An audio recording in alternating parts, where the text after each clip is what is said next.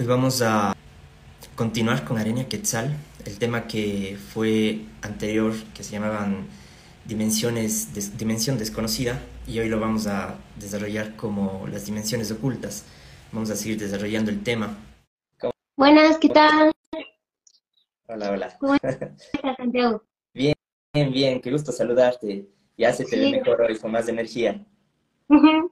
¿Cómo has estado? ¿Cómo estás notando todos los cambios planetarios? Que yo sé que tú eres más sensible. Sí, bastante acelerado, bastante acelerado todo. Siento como, como se, se siente a nivel físico, bastante.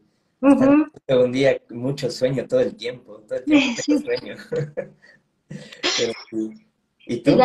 Hay muchísima gente que está diciendo lo mismo, que en este tiempo, con tantos cambios que están habiendo dimensionales y en el colectivo humano, lo que más les está ocurriendo es tener sueño y cansancio. Y, la verdad es que eso tiene, al menos eh, dentro de lo que es eh, eh, en la corriente en la que yo me muevo, que es la red de conciencia Nueva Humanidad, tenemos nuestra propia teoría que hemos podido comprobar.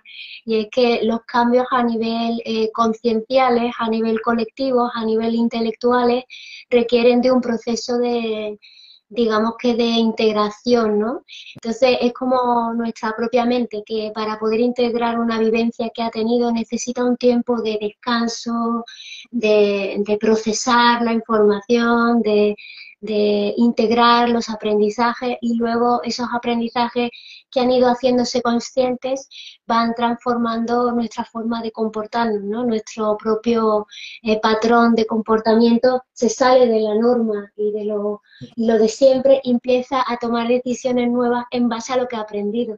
Entonces le ocurre lo mismo a una mente colectiva que, cuando tiene que aprender del pasado que ha estado viviendo hasta ahora, requiere de un tiempo de respiro, de, procesar la información, de aprender de ella y crear nuevos patrones de comportamiento para el ser humano.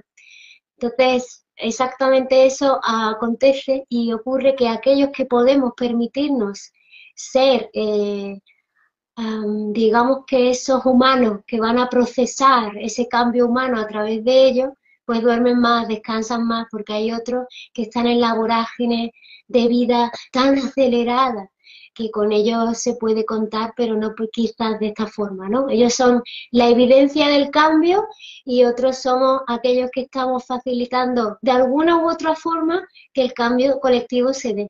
Qué bonito. Sí, así es, así es. Justamente eh, con personas que, he podido conversar ahora eh, que, no, que no van mucho en este tema, eh, veo que están con las emociones a flor de piel, como te contaba en la anterior eh, charla que tuvimos. Y nada, les recomiendo descansar, descansen mucho, traten de, tratarse bonito, de, amarse en este proceso. Cierto, y aprender, siempre aprender.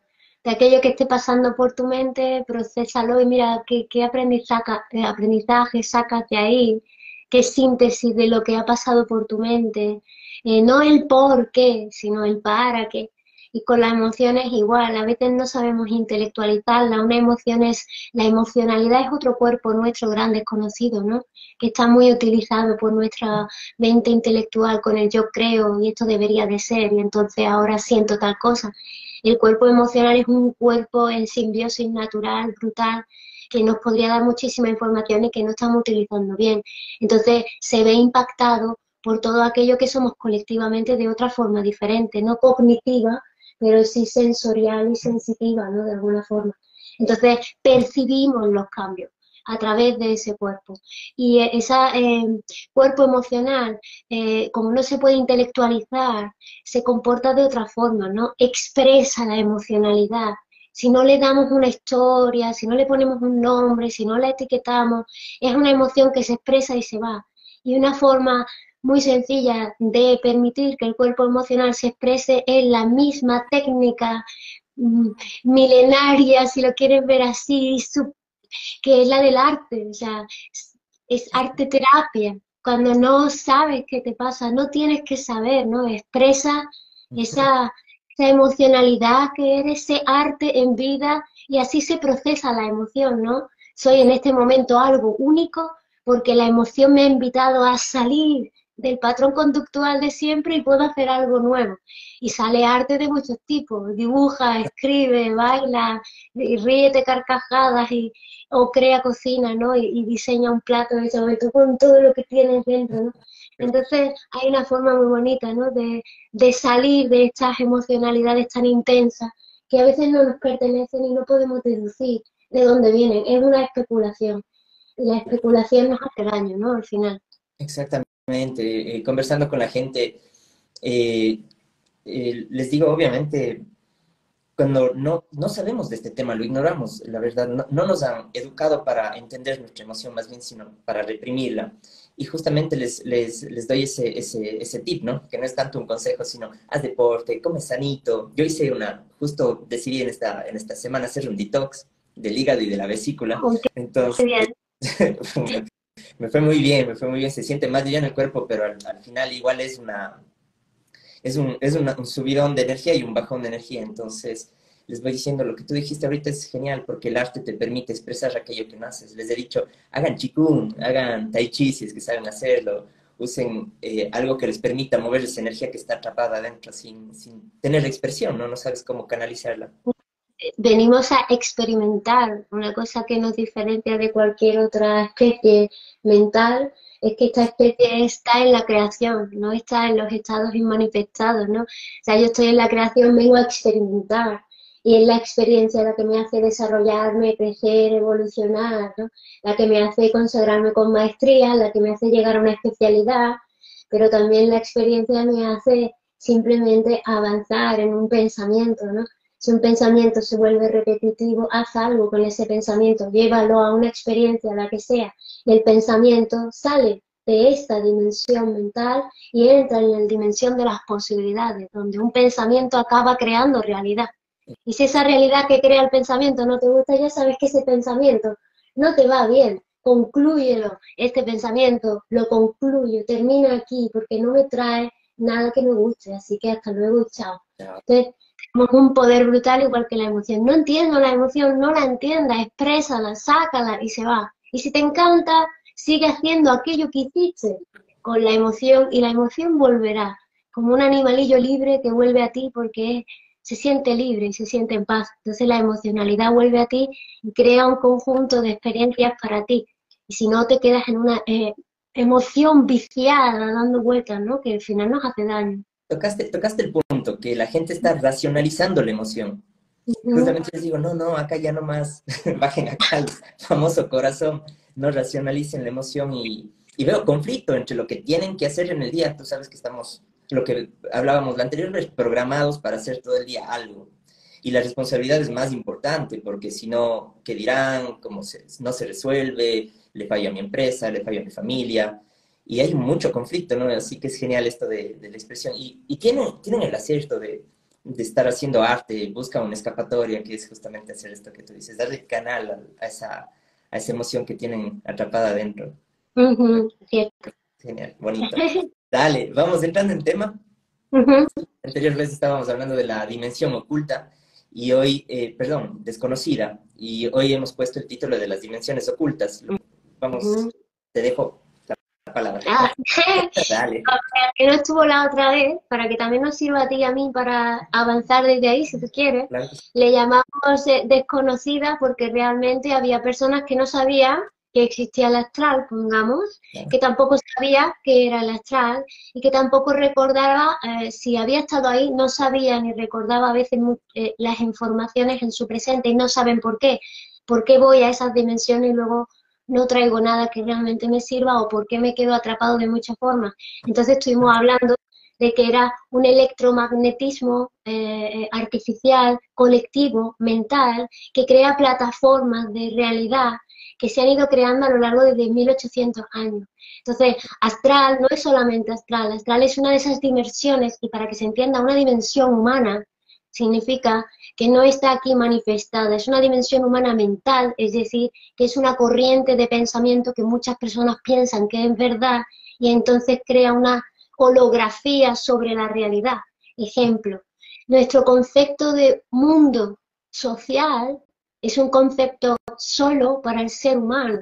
Ningún un gato cruza una frontera pensando que ha, que ha cruzado una frontera y que tiene que llevar un pasaporte. Para que lo entendamos así de sencillo, ¿no?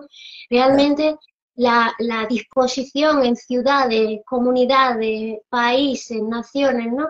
El continente es totalmente un constructo humano. Eso es para que se entienda que es un paradigma de pensamiento. Esto es un paradigma y que de alguna forma crea una dimensión mental en torno a esa idea. Las personas piensan como si la ciudad fuera lo único que existe. No es cierto, el humano que no nació bajo un paradigma social, el mundo lo ve como un planeta, un planeta natural inmenso lleno de vida y de posibilidades, y tú y yo pensamos en la habitación, la casa, el, la ciudad, mi país y mi continente. Digo, qué difícil es salir del continente. Todo mental. Tru, tru, tru, tru, tru, ¿Sabes? Entonces, el que vive en el planeta Tierra viviéndose como un planeta natural, se siente naturaleza en estado puro, continua evolución, ¿no? Entonces, eso es un paradigma eh, psíquico que crea una dimensión mental artificial en base a una creencia que todos tenemos. Y ocurre que nosotros al nacer ahora se nos domestica para que todos miremos la realidad desde ese punto de encaje, para encajar. Y cuando todos encajamos, empezamos a comunicarnos con una lengua, con un lenguaje, que hace que tú pienses en base a esa idea. El lenguaje está creado para que tú, desde que aprendes el lenguaje, ya hablas humano-social. No importa el idioma, ya hablas humano-social. Ya has perdido tu humano-naturaleza, que es toda la inteligencia biológica que yo soy, que tiene un lenguaje también corporal y que puede crear muchísimo para comunicarse, que no necesita de saber de ciudades ni de países, es un idioma universal. Lo entiende un animal, lo entiende un gato, lo entiende un rinoceronte. Entiende un lenguaje que incluso es común a todos los animales. Es un lenguaje instintivo que nosotros también hemos perdido. Nuestra inteligencia instintiva está adormecida en el ser humano, como la inteligencia emocional creemos que es la intelectualización de la inteligencia, perdón, de la emoción y que da 160 tipos de emociones y yo estoy hoy en la 144.3 porque estoy medio bien, medio mal con esta emoción. No funcionamos así, no somos un cyborg, no somos un cyborg, no somos una inteligencia artificial, pero desde luego nos están induciendo a pensar que lo somos, creando un egregor artificial que vive en nuestro vehículo biológico creyendo que es el conductor de nuestra vida. Y eso no es la esencia, eso no es el ser. Entonces se llamaba desconocida porque el intento anterior fue daros a conocer qué son las dimensiones artificiales, mentales, colectivas. Pero hoy quería llamarlas ocultas porque mi intención es contaros que hay 19 dimensiones así, ah, de las cuales dependemos. Entonces quería contar un poco qué son, cómo son, cómo reconocerlas, qué ventajas tiene reconocerlas, qué beneficios te trae, reconocer que tú también estás colonizado supeditado alguna de ellas y que con todo esto uno pueda apostar por su libertad individual y por colaborar en la libertad del ser humano de este tiempo que está muy atrapado en esas corrientes de pensamiento. Hermoso, hermoso, hermoso. Dale, dale, entonces, eh, ¿las quieres, las vas a ir describiendo? Eh, sí, me gustaría primero, bueno, el, lo impactante, lo más eh, destacable sería la dimensión ocultas, son dimensiones colectivas, mentales, humanas, que junto al inconsciente colectivo humano son los dos grandes parásitos, los dos grandes egregores parasitarios que nos están comprometiendo nuestra evolución individual y que están limitando las posibilidades que tenemos como seres humanos en la evolución de toda nuestra especie. Son egregores, por tanto, entidades psicoemocionales de pensamiento que viven de nosotros, de la sumatoria del ser humano, ¿de acuerdo? Por tanto, las dimensiones artificiales ocultas o desconocidas viven de nosotros, no son naturales, no surgen por, surgen de la sumatoria de nosotros y se hace tan grande respecto a nosotros que se convierte en el líder de cada uno de nosotros, de las partes, ¿de acuerdo? La sumatoria de las partes crea algo nuevo y ese algo nuevo se nutre de las partes y por tanto acaba condicionando a las partes para seguir viviendo. Y así se creó el egregor GOT, Dios, que ya hablamos la otra vez, de la sumatoria de las personas que creen en algo más grande, que en un tiempo hubo gente que le llamó Sol y otro le llamó Zeus y otro le llamó Diosa secas. Pero eso es la necesidad del ser humano de tener una alineación con un intelecto superior humano, es decir, un yo superior humano, un ser humano superior, una mente superior que nos diga cómo organizarnos como especie única en el planeta, que en lugar de crear algo eficiente, alineado con la naturaleza y con el universo, creamos algo artificial que creó los sistemas de creencias para poder llevarte hacia un lado y hacia otro, y ahora vive de nosotros. Creada por una ayuda, se convirtió en el líder de la humanidad en base a su propia supervivencia, no en base a nuestro desarrollo, no en base a nuestra vida, no para nosotros, sino para sí misma.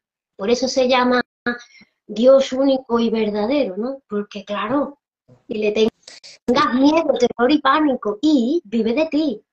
Exactamente. Pero quiero, quiero que hagas hincapié, por favor, en, lo que es el egregor, para que la gente, ya lo dijiste, lo describiste, sin embargo, muchas personas se pierden en el significado de eso, ¿no? Que es un, constructo psíquico eh, de, la, de, la, humanidad. ¿Le puedes dar un poquito más ahí para que la gente le, pueda tener más claro? Vamos a poner un pequeño ejemplo eh, de un grupo de personas. Nos juntamos un grupo de amigos, cada uno con su propia historia personal, su propio camino evolutivo, sus propios aprendizajes, su propia memoria, su propio todo, tú, yo y otro más, por poner, ¿vale? Nos juntamos los tres, estamos tomando algo por la tarde y estamos hablando y pensamos, oye, ¿y si creamos un grupo de, un grupo de, lo que sé, un grupo de gente que le encanta hablar de las posibilidades de las dimensiones humanas, ¿vale? Vamos a un grupo de gnosis, vamos a crear un grupo, no importa, ¿de qué? Un grupo de tal cosa. ¿Qué es lo primero que voy a establecer con mis amigos? Unos criterios para estar en ese grupo. En este grupo solo se habla de esto, porque si no, no tiene sentido que hagamos un grupo para eso. Este grupo se va a juntar dos días a la semana, lo voy a coordinar yo haciendo una propuesta, tú, si no estoy yo, te coordinas tú, ¿vale? Se establece una normativa, ¿no? Un paradigma. El que venga tiene que jugar así a este juego. Hasta ese momento es un juego entre tres personas en una cafetería, pero en el momento que yo establezco esto y empiezan a venir personas, cada una de esas personas es aleccionada en una normativa para jugar dentro de un paradigma que hemos creado entre nosotros tres. En nuestro juego, ¿vale? Tenéis que jugar como nosotros digamos. Las personas vienen y tienen que someterse al juego, a las reglas del juego, si no, no podéis jugar. Pero si alguien entra rebelde, güey, y dice, bueno, pero yo ya estoy dentro y ¿sabes qué? No me da la gana de hacerlo así. ¿Tú qué le dirías? Pues te vas del grupo y te montas tu propio grupo. Exacto. Este paradigma tiene unas normas, ¿bien? Cada ciudad tiene unas normas, cada país tiene unas normas, cada continente tiene unas normas, cada empresa tiene unas normas y cada familia tiene unas normas y cada relación de pareja tiene unas normas y se establece un sistema de creencias, es decir, un paradigma, y al final el paradigma acaba creando, depende de determinadas circunstancias, un yo superior que suma a todos los componentes del grupo. Y que sin darnos cuenta, cuando queremos actuar para ese grupo, yo no te pregunto a ti que estás en el grupo, ni al de al lado, sino que yo me pregunto, ¿qué haría yo si formo parte de este paradigma? Y el propio paradigma que ya tiene un egregor te contesta, si haces tal cosa le va a gustar a todo el mundo, porque si tú te acuerdas que las normas son estas, entonces tú deberías de comportarte así. Al principio parece que es como una especie de intuición que tú tienes, pero en determinado proceso que acaba ocurriendo evolutivo de ese propio conjunto de ideas y de normas, se crea ese paradigma que ya se ha definido y se reconoce a sí mismo y todo el que llega ya se comporta así, a ti te acaba condicionando tu comportamiento tanto que tú te puedes ir y seguir pensando que tú eres de ese grupo como si fuera una nueva identidad tuya. Se han creado dos cosas. Está el egregor del grupo y el egregor individual que se está creando porque tú te sientes alguien para un grupo. Entonces, como con la familia, te llevas los apellidos puestos y yo ya sé que soy de tal apellido y por tanto mi padre, mi familia paterna se comporta así y mi familia materna se comporta así y yo soy la mezcla de las dos. Pero tengo que cuidar de las normativas de los dos, si no me llevo mal con mi padre y mi familia, ¿cierto? Entonces, el grego es una entidad de pensamiento emocional, psicoemocional, que crea patrones o modelos cognitivos, conductuales de pensamiento y de acción para quienes forman parte de él y acaba creando. La entidad vive de un paradigma, el paradigma sostiene a muchas personas y esa entidad se puede acabar convirtiendo en toda una inteligencia artificial que crea un país entero o, un continente entero, que le dice cómo se tiene que vivir dentro y cómo te tienes que comportar. Justamente, ahí quería, quería hacer hincapié en algo que justamente me venía, mientras tú hablabas a la mente, que las personas, la película de Matrix, cuando eh, los agentes se activan, ¿no? Se activan en cualquier personaje que está ahí justamente a través de, una inteligencia artificial y se vuelven los sentinelas de esa, de esa realidad. Eso es tal cual. Es una forma de, de, decirle a las personas que vayan a ver este video que, que, estén en paz con las personas que estén al lado, ¿no? Porque algunos van a defender ese sistema. Y me gusta la definición, le veía a Safiel, no sé si le conociste, debes conocerle a Safiel Elohim, que que daba eh, charlas de, sobre esto. Y él decía, eh, Dios, Division Intelligent Operative System. Y me gusta mucho porque ahora que está tan de moda la inteligencia artificial, ¿por qué? Porque cualquier concepto de Dios que tú tienes causa más separación que unión. Entonces... Son juegos. Ya estamos separados desde el nacimiento, ya nacimos con, separados de la inteligencia natural universal porque ya nacimos bajo un paradigma social que dictó quiénes íbamos a ser desde la infancia. Entonces ya nacimos separados de otros y conectados en bases a sistemas de creencia. Yo soy de una religión, tú eres de otra, yo soy de un país, tú eres de otro, yo soy de unos grupos, tú eres de otro, yo soy universitario, tú eres profesional, yo soy estudiante, tú trabajador, yo no sé qué, ti, ti, ti, ti, Y de toda esta separación se hace mucho comercio. Y también permite eh, es, digo manipular, permite manipular a la globalización de seres humanos en base a patrones, porque 8.8 millones de habitantes, pongamos, no me da para que todos crean en un solo sistema de creencias, pero sí me da para hacer muchos pequeños packs de, de humanos, que todos vayan en torno a diferentes ideas, a tres ideas principales, sanidad, economía y comercio, y a todas ellas le llamo sociedad. Entonces ahora ya sí tenemos por fin un solo paradigma que une a toda la humanidad en base a unas creencias. Somos sociedad. ¡Hala! Ya tenemos ahí el eslogan del nuevo sistema de creencias. Porque cuando éramos de distintas religiones era muy difícil poner de acuerdo a tanta gente. Pero todos son religiosos, por tanto, ahí tengo otro gran parasitario. Religiosos, no me importa de qué religión, ¿es religioso? Sí, ¿por qué? Porque ahora existe la espiritualidad y la cienciología. Entonces al final estamos todos dentro de religiosos de alguna u otra forma.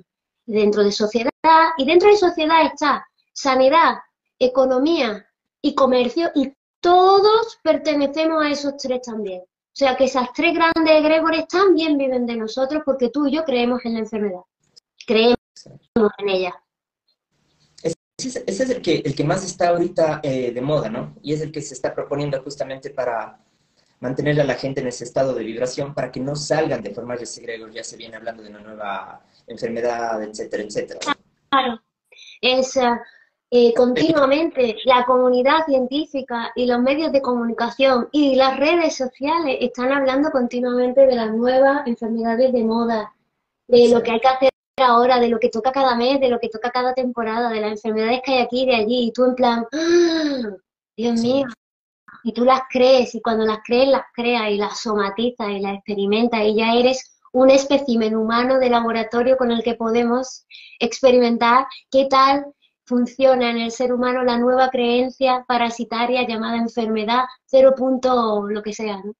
Ostras, entonces, un egregor, por, por hacer ahí una introducción, una introducción a que está ahí abajo entrando, un egregor es una entidad de pensamiento que dicta unas normas y crea un paradigma medioambiental, colectivo, individual, que sería egregor, grupal, que sería también egregor grupal, eh, colectivo o por sistemas de, por clasificaciones por temática o bien por ciudades, países y continentes, que se convierte en una inteligencia superior a la sumatoria y le dice a la sumatoria cómo tiene que vivir. Por tanto, nace de la sumatoria y depende de la sumatoria y depende del sistema de creencia de la sumatoria, porque el sistema de creencias se convierte en la programación, es decir, en el modelo cognitivo-conductual que tienen que llevar todos los que están dentro asociados a esa idea. Eso es un eso es un paradigma y así condicionan al ser humano que forma parte de muchos niveles de paradigma. Quiero, quiero aportar en esto de, de lo que dices de que condicionan algo cuando lo que piensas, sientes, lo que sientes, piensas, y obviamente se imprime en tu biología, tú terminas creando una reacción química, biológica, que responde a ese egregor. Y eso eh, tiene que ver con lo que está diciendo Areña, que son los patrones de comportamiento, ¿no? Sí, cierto. Entonces, lo interesante que tiene todo esto para que uno no diga, ¿qué hago yo con toda esta información sabiendo que hay tanto egregores? ¡Oh, Dios mío!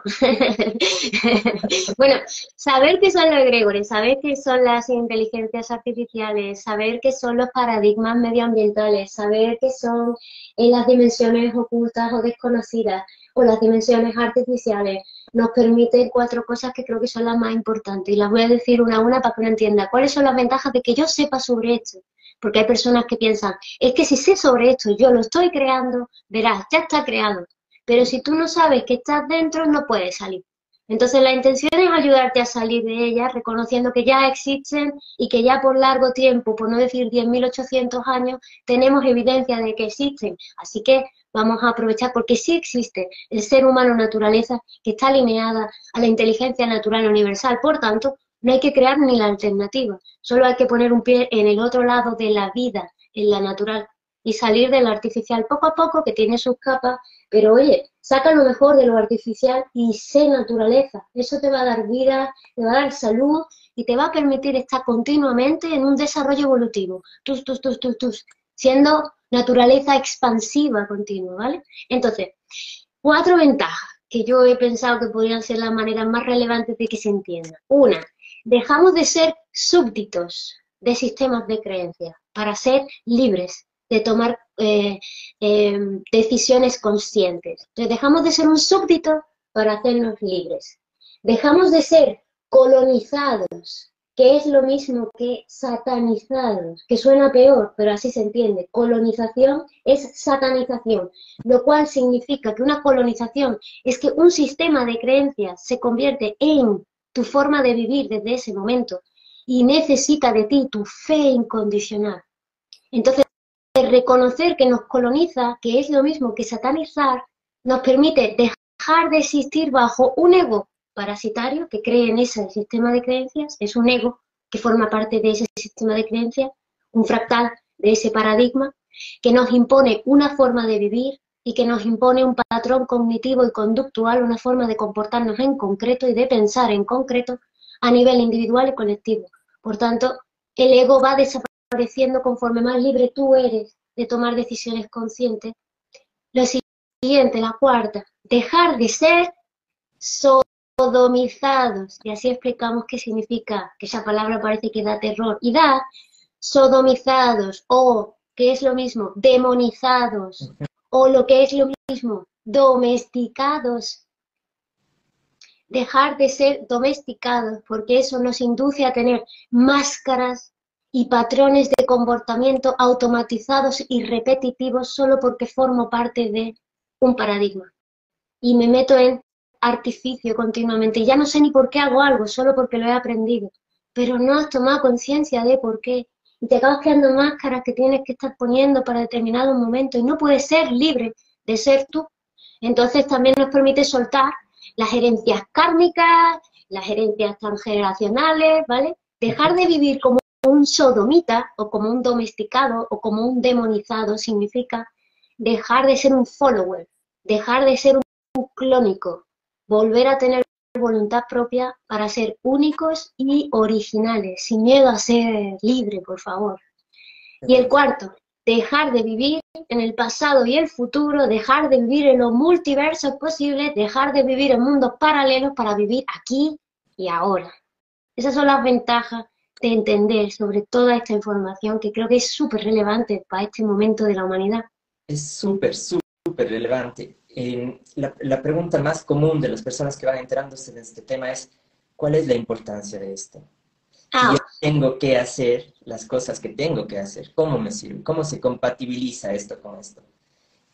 En el sentido de qué sacas tú, qué, qué sales tú ganando, ¿te refieres? Me refiero a que la gente no le ve la importancia. Por ejemplo, tú acabas de decir clarito, muy clarito, que son, que son, que estamos en estado de súbdito, estamos colonizados y que en ese caso, como satanizados, no podemos ver toda la propaganda que hay ahorita, que sale en, los, medios de comunicación, ya sin, sin ninguna restricción, o tal vez estaban ahí y nosotros no poníamos atención. Que sale ahora el, satanismo con, con, toda la frescura del mundo. Sí. y la gente no acaba de entender por qué es importante ¿Para qué yo dejaría de estar sodomizado, como tú dices? Bien. Para mí, ¿eh? esto desde luego dependerá de cada uno, pero yo haría algo estándar primero. Eh, si yo estoy colonizado, si yo estoy eh, eh, eh supeditado a un sistema de creencias, yo estoy continuamente solamente repitiendo esas ideas, esos pensamientos. Estoy en un circuito cerrado. Si quieres verte de otra manera, eres un hámster en una rueda corriendo. Estás persiguiendo a veces también futuros posibles, estás persiguiendo zanahorias, estás además llevando un saco de piedras encima al que le llamas historia personal y además te está impidiendo ser libre, ser feliz, tener una vida apasionante, porque el egregor social te impide que seas lo que no esté establecido para ti en tanto se toma nota de quién eres, dónde vives, a dónde vas, quién es tu familia, todo eso importa para lo que la sociedad tiene un plan para ti. ¿Cuántos de nosotros queríamos un plan diferente al que tengo a mi alrededor que parece que no consigo salir de una vida siempre igual? ¿Por qué no tengo oportunidades para vivir algo diferente? Porque tú formas parte de un egregor social y el social ya saca algo de ti. No le importa si la vida te apasiona o no te apasiona. Lo que le importa es que tú la estás viviendo. Gana tanto de ti llorando en el sofá como riéndote con un amigo en la película, porque es energía en torno a un sistema de creencias. Yo me he dado cuenta de que el ser humano que vive bajo un paradigma natural tiene dones y talento extraordinarios que el ser humano de aquí, como mucho, lee en un libro y dice, uy, uno que dice que tiene... No, no, no. Yo he conocido comunidades enteras viviendo en simbiosis natural, viviendo en ciudades o poblaciones, no, porque no tienen esas poblaciones, aldeas, agrupaciones libres, interconectadas entre ellas viviendo de la naturaleza, con avances tecnológicos, sin estar en, disputa con nada, sacando lo mejor de todo lo que hay, viviendo siempre una alegría que tú dices, Dios mío, si el futuro fuera así, no, el presente ya es así para el que quiere vivirlo así, para el que se permite vivirlo así. Entonces, ¿para qué? No te digo que sea para que te vayas a vivir a la naturaleza, te lo digo para que tú te sientas en naturaleza y dejes de enfermar, se abran las oportunidades, pueda ser único, dejes de sufrir por no parecerte a lo que crees que deberías de ser, dejar de perseguir un ideal, dejar de huir del pasado, dejar de pensar que todo nos pasa a nosotros. Hay muchas creencias que el ego tiene en torno a, ser parasitado y si solamente fuéramos parasitados por un sistema de creencias todo está bien, pero es que es que es increíble, ¿no? La cantidad de, de, de, de que hay, ¿no? Y nos están usando para pensar todas esas dimensiones artificiales que viven de nosotros, viven de ti. No dejamos de ser, visto desde esa perspectiva, un animal en jaula. Somos granjas de animales y tal como tú ponías el ejemplo de la película, granjas de animales que crean una matrix artificial de vida y se desalinean de la natural que te hace libre, que quiere que seas un potencial evolutivo y que quiere que sea continuamente tu mejor versión no en esta que nuestra versión muchas veces deja mucho que desear y nuestras posibilidades de vida también. La vida no nos pertenece cuando pertenecemos a un sistema parasitario. tú le perteneces al sistema. Y sin embargo, ellos o cada uno de esos egregores de pensamiento dependen de cada uno de los individuos. Así que el poder personal es tan grande, el poder individual es tan potente que te adormecen para que tú no sepas cuánto vales como ser humano, como ser vivo, como ser natural.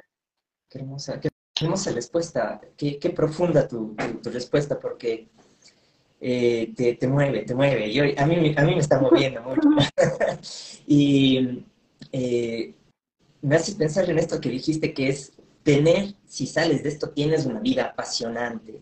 Eh, está hablando de su experiencia y yo también puedo sumar con mi experiencia de que cuando sales del paradigma, todo se vuelve eh, excitante, todo es apasionante, tal cual lo dice la palabra. Y, me, deja ver un poquito a, a, las personas en transición que esta frase que me gusta, que su mayor verdad es su mayor mentira, que se cuentan algo que no es que no es propio, pero que les mantiene ahí. Y, o sea, es que yo soy feliz en mi trabajo, ¿por qué habría de dejarlo? Y yo oigo mucho eso, y no, y no es porque, como tú dices, no es para que se vayan a la naturaleza o dejen el trabajo o dejen a la pareja, no, sino para que, para que entren en profunda libertad y comiencen a dejar de alimentar un sistema caduco primero y que te tienen opresión al final porque no te deja expresar el ser. Claro, es que se, todos formamos parte de este juego social. Tenemos profesiones, categorías, tenemos hobbies, tenemos, formamos parte del comercio, compramos, eh, intercambiamos, bien, está todo ahí y eso no es malo. El problema está en que este constructo artificial te oprime para que solo seas eso. Conozco muchas personas que terminan de trabajar y del trabajar se van al sofá y del sofá se van a la cama y de la cama van a trabajar otra vez. Se les ha olvidado un tercio, claro, un tercio de tu vida puede ser para laborar, para trabajar, para este constructo social que sirve para toda la unanimidad social, pero te corresponde todavía un tercio de tu tiempo para tu propio desarrollo evolutivo como persona, ser humano natural, y tiene otro tercio para dormir. Y la segunda razón, y la más importante, diría yo, es que si hemos hecho un constructo, somos, somos la sumatoria de un constructo social que está matando a mi humanidad, que está matando a los seres vivos y que está matando a mi planeta, yo soy responsable de que eso esté pasando, aunque solo lo esté viendo en mi sofá. El mundo del mañana es hoy y yo lo estoy viviendo hoy y yo tomo las decisiones hoy de qué mundo y realidad vivo hoy, porque yo permito que aquello que es corrupción, malversación, guerra, miedo, terror, muerte, yo lo estoy permitiendo. Y eso no te está afectando a ti y te está afectando a ti de lleno, porque toda la humanidad somos una misma especie. Que no nos engañen los dirigentes ni los egregores parasitarios pensando que es más importante el número, que es más importante el dinero, que es más importante el SIM City y el sim que puedo manipular que el ser humano naturaleza, porque obviamente no quiere que tú seas naturaleza, porque obviamente eso te hace libre, porque te haces una inteligencia humana natural y universal que dice, yo no estoy dispuesta a continuar con esta sociedad. No quieren que la gente se levante del sofá, te quieren adormecido y adicto a las nuevas dimensiones artificiales de pensamiento para que quieras ser otra vida, que quieras esperar a que el paraíso venga después de tu muerte, quieras encontrar un origen estelar mejor que este, porque claramente aquí has nacido sin poder tomar una decisión propia de qué ser humano vas a ser. Social, sí, pero tienes que elegir entre lo que te dan a escoger. Pero ser humano, genial, original y único, olvídate. El que es original y único le llaman artista. ahí está, ¿no? El camino del artista, bueno, nunca se sabe, perdona. Creador, no artista ser creador, creación, avatar de las fuerzas naturales y universales, no un ser social, profesión, etiqueta, categoría, enfermo, mujer de tal edad, con tales posibilidades, según su ciudad y su país, su continente. Y si además religiosa de tal, te corresponde no sé qué. Y si has trabajado tal, te corresponde tal y cual. Yo además de todo eso, que eso es solamente un juego social para sobrevivir, porque nos tienen en supervivencia, haciéndonos creer que esto es un estado de bienestar, pues yo no te veo bien, te veo mayor, te veo viejo, te veo muriendo, te veo enfermo, te veo triste, te veo saturado, te veo estresado, te veo perder tu familia, te veo perder tu pareja, te veo estar sin pareja y sin saber qué hacer, te veo peleado con la gente, te veo torturarte en casa. Oye, si te pasa todo esto, haz algo. Si eres sumamente feliz con quién tú eres, con lo que vives y con el mundo en el que vives, no hagas nada. Exacto, exacto. Tocaste el, tocaste el punto álgido ahí, que es justamente esto de, de todos, todos, en la mayoría, el 95% de la población se medica para no, no morir. Estamos de un continuo, continuo miedo, miedo. Y ahí está el detalle, ¿no? A, a, darle ese pasito afuera, no desde ese pasito afuera porque te mueres, te vas a morir, te vas a morir. No, no, no seas libre, no salgas de la cueva. ¿Qué pasa afuera? Ah, la, la cueva es segura. No salgas de afuera, afuera te come un tigre, un león. Y todos estamos adormecidos ahí en la zona segura, ¿no? El sofá que tú dices, ver Netflix todas las noches, que es bonito. Y es en otra parte, o sea, es, un paradigma creado ya, y por eso es cómodo, incluso a los espirituales les pasa, que tienen que seguirse moviendo en ese paradigma, porque está ahí, pero me encanta lo que tú dices, porque viene esto que, que me gusta, que es el humano, que es magia, es magia. Todo el tiempo estamos creando, y ahí viene la parte en la que me encanta que dices que es una vida apasionante, porque cuando tú la estás creando, no existe lo que está pasando y por lo tanto es nuevo y excitante, que es lo que el humano vino a hacer, revolucionar. Eso es evolución. Somos, somos el siguiente estadio evolutivo de una raza que sigue avanzando, sigue avanzando, sigue avanzando. A ver, voy decir también por qué, ¿no? Si estas dimensiones artificiales, las 19 que coexisten en este tiempo, para que se entienda ya, entramos en esta última parte para saber qué son o cuáles son ya, ¿no? Entonces, estas 19 eh, dimensiones artificiales se han ido creando a lo largo del desarrollo de nuestra propia especie, a lo largo del tiempo, pero a lo largo de los últimos 10.800 años, ¿vale? Es el desarrollo de la humanidad en civilización, ¿de acuerdo? Entonces, el Civitas acaba creando un sistema de creencias para que la ciudad, eh, el, el paradigma social pueda continuar. Y el siguiente que nace se entera de todo lo anterior y entonces continúa la estirpe social, ciudadana. Entonces eso crea que un sistema de creencias común, que en su origen no fue pensando en la ciudad, en su origen fue pensando en agrupar a poblaciones para tener el control de las poblaciones. Entonces se creía en una deidad, en este caso el dios del tiempo que sea, porque ha sido desde 10.800 años, todas tienen en común esto. Todas creían en una deidad superior. Todos creían en un dios o dioses o lo que sea. Todos creían que el líder de ese agrupamiento estaba elegido por Dios. Y entonces todos se sometían a lo que ese líder decía y creaba el paradigma social o comunitario, ¿vale? Y luego coge ese líder, las riendas de toda esa gente, las pone a trabajar, crea oficios, crea profesiones y crea categorías para crear un planeamiento urbanístico, para crear la urbe y luego crear un sistema social en torno a esa urbe. Y para que no te vayas, crea la religión y te alecciona y te educa a través del miedo.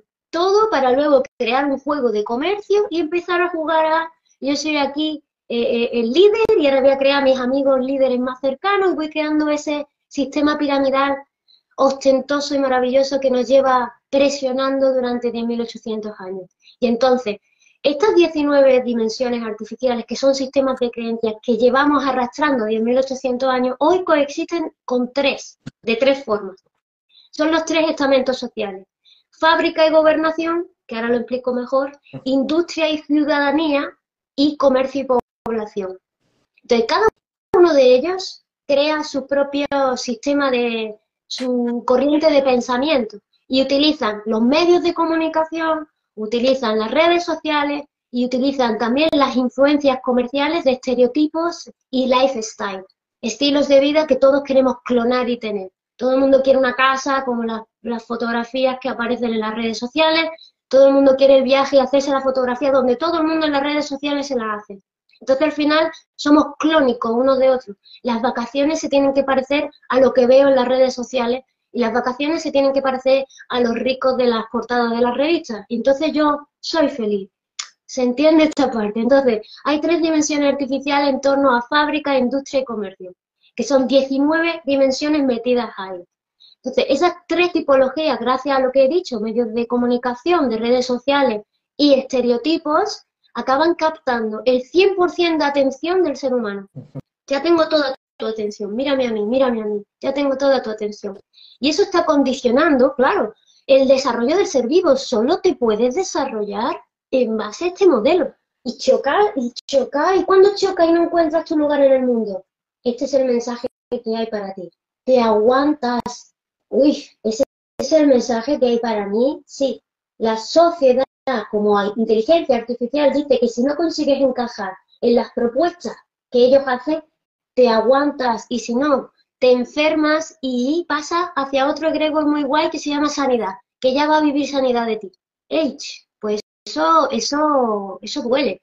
Y entonces en lugar de ser una inteligencia humana, natural y universal en desarrollo continuo para mi propia especie, para el planeta y para el cosmos, me convierto en un egregor parasitario individual que tiene que hacer lo que se le está diciendo que haga. Si no, te aguantas y te mueres que no sobras. Ostras.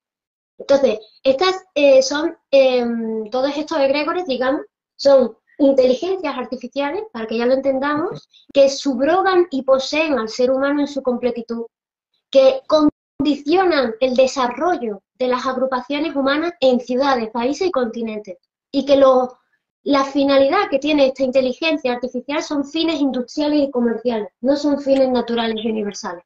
Y así se crea el paradigma del que hablábamos que tiene un egregor encima, que tiene una inteligencia artificial encima, ¿no? El paradigma se llama matrix artificial, mundo social.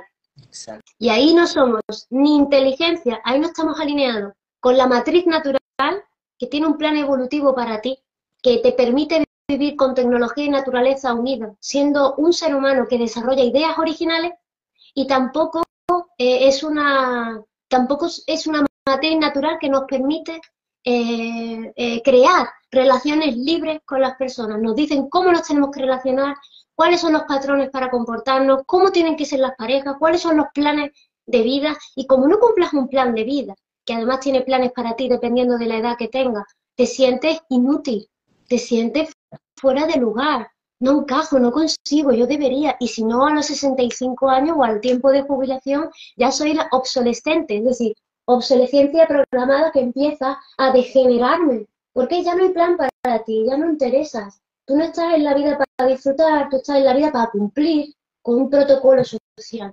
Entonces, finalmente, ya, para que tú y yo entendamos también, ¿qué son estas tres eh, tipologías de dimensiones artificiales, que incluye 19 dentro, y que son tres grandes que hemos dicho, pues las que son de fábrica y gobernación incluyen las dimensiones astral, astralis y umbral, que son tres diferentes, que ya podríamos en otro programa, si tú quisieras, hablar de ellas, de cada una de ellas, para que uno diga, ah, yo estaba aquí y aquí y aquí, ya sé para qué estaban, ya sé qué querían de mí.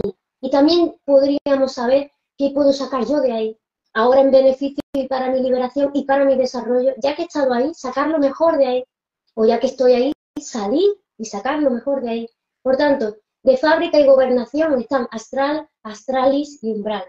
De industria y ciudadanía tenemos el falso etérico, ciudades etéricas y ciudades intraterrenas, porque están las que no son, porque las que son forman parte de la memoria del consciente colectivo planetario, la memoria de la mente planetaria, que tiene la memoria de todas las civilizaciones y humanidades que han habido a lo largo de nuestra historia, porque guarda el desarrollo de todas las especies humanas y de las especies naturales, y eso nos permite consultar esa información y de ahí canalizar, vivir, experimentar patrones evolutivos eficientes de nuestra propia especie. Lo que no hay en la memoria como no lo hay en tu memoria y tampoco lo hay en la mía, es una ciudad viviendo por sí misma, necesitando tu atención, porque si no, no puede vivir. Es decir, que si yo tuviera una ciudad mental, para que esa ciudad mental viva, necesita que yo vaya todos los días a ese pensamiento de ciudad mental, para que la ciudad mental pueda desarrollar personajes y tener vida. Si no, si yo no veo la serie de Netflix mental que me estoy montando sobre la ciudad etérica, se me olvida. Como cuando eres pequeña y tienes pequeño y tienes mundo imaginario en tu cabeza. En algún momento creces y se te olvidan. Y cuando se te olvida esa ciudad mental que tú tenías, se reabsorbe y te enseña y te da aprendizaje por haberlas tenido. Pero si esa ciudad mental me dice que tengo que ir allí, hacer misiones, tener que rezarle, tener que hacer servicios para que ellos puedan vivir de ti, que tú eras de allí pero no te acuerdas, que tú eres tales personajes pero no sé qué, uh, uh, ah. eso perdona, pero te están parasitando y tú no vives aquí y ahora. Y ya te digo yo que la naturaleza no quiere que vivas en otra humanidad, ni en otro tiempo, ni en otra civilización. Quiere que vivas aquí y ahora. Y por último, el tercer bloque son las de comercio y población. Y ahí podemos encontrar la Deep Web de Internet. Podemos encontrar las Starship, las confederaciones, las naves nodrizas, los orígenes estelares, las vidas pasadas, las vidas paralelas y los mundos paralelos y los universos paralelos. Hola, ¿qué tal? Que estáis viviendo todos de mí entendemos, ¿no? Y lleva todo este negocio tan grande de Internet, solo tiene 20 años.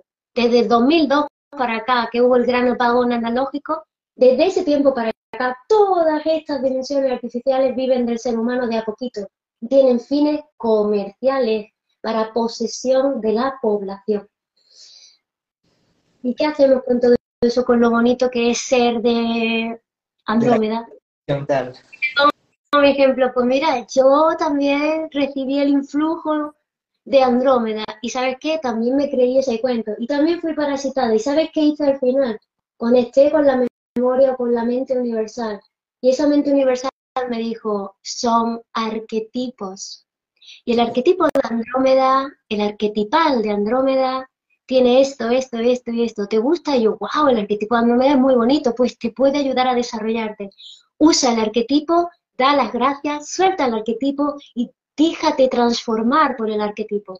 Pero si el arquetipo te está haciendo sufrir porque no eres de ese tiempo, de esa ciudad, holografía o lo que sea, llorar porque tu origen estelar es mejor que el tiempo que te toca aquí vivir, esperar a tu muerte para que venga a recogerte una nave y vayas algún día a algún planeta en otro lugar, te estás equivocando respecto a lo que significa ser una semilla estelar.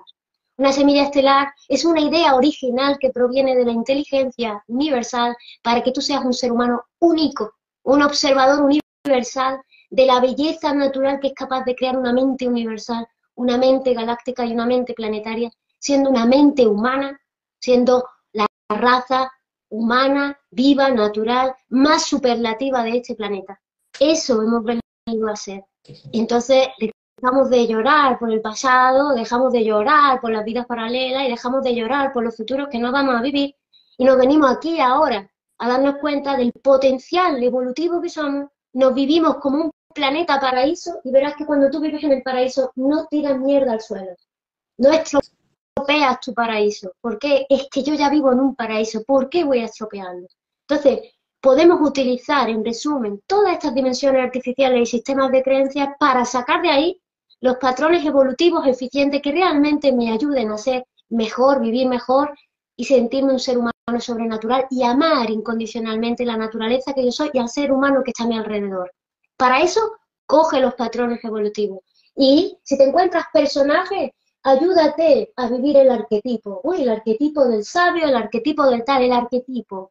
Porque si no, vas a tener a muchísimos seres parasitarios en tu mente viviendo de ti que se llaman egregores y los egregores necesitan de tu atención, de tu energía y de tu vida, porque son artificiales y no han nacido por voluntad propia de la mente ni planetaria, ni natural, ni universal. Por tanto, son artificiales y te necesitan a ti. Y se acaban convirtiendo en ti mismo. De ahí soltar, ¿no? 19 dimensiones artificiales dentro de tres grandes bloques y seguro que hemos sido parasitados por más de uno a la vez, porque coexisten a la vez y están alimentándose de la atención, de la energía y de tu vida del 100% de la población, casi. Sí, qué, cátedra. A ver, eh, mira, me quedé en blanco. Eh, las eh, continúo, me quedé en blanco. Está, Ahí, yo había llegado hasta aquí como conclusión de creo que ya he dado, he, he hecho un resumen del resumen de, por qué, qué ventajas tiene, qué beneficios tiene, cómo nos permitiría la libertad, qué ganamos con la libertad, qué perdemos con, la ignorancia y con la sumisión, qué son los egregores, la inteligencia artificial, qué son los paradigmas, cómo sucumbimos a ellos y qué grandes estamentos sociales hay para manipular a toda la población, para meternos en una ciudadanía. Eh, ¿Cómo tenemos 10.800 años de recorrido de estas paradigmas artificiales que nos está desconectando de la matriz natural a la que todos pertenecemos? Solo hay que dar un paso a este lado de la vida, salir del artificial, jugar con lo mejor de lo artificial, pero vivir siendo naturaleza y luego sacar lo mejor de lo que ya te ha pasado, patrones eficientes y aprender de los arquetipos, pero vivir en el aquí y en el ahora, sabiendo que eres un ser humano único, una singularidad majestuosa, cosmológica, es decir, eres una semilla estelar de conocimiento, sabiduría y vida en pleno desarrollo evolutivo. Entonces, por, hay que aprovechar esta vida que es la que tenemos y vivirla eh, en su máximo esplendor, ¿no? Y vivirla aquí y ahora. Hermoso, hermoso. Mira, eh, lo que me estaba viniendo y justamente mientras integraba tus palabras era que todos, todos en este camino evolutivo, igual vamos entregando nuestra conciencia a alguien que nos guíe. Y por eso siempre vamos tratando de pertenecer a algo. El sentido de pertenencia sigue siendo entregado hacia afuera, porque es muy difícil para uno pensar que es la fuente misma de la creación y que mientras lo está pensando y lo está sintiendo está pasando afuera. No nos acabamos de creer eso y me gusta esa parte del, de, que puedes pasar por ahí como arquetípicamente en algo y disfrutar de ese proceso incluso, como estamos disfrutando de esta humanidad, es, es, algo arquetípico, y no sufrirlo ni nada, sino más bien evolucionarlo a algo más bonito.